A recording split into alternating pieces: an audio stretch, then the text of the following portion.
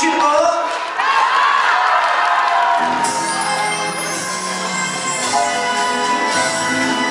Спасибо вам огромное за ваши аплодисменты, за ваши цветы, за ваши подарки, за ваше блистательное настроение. Спасибо!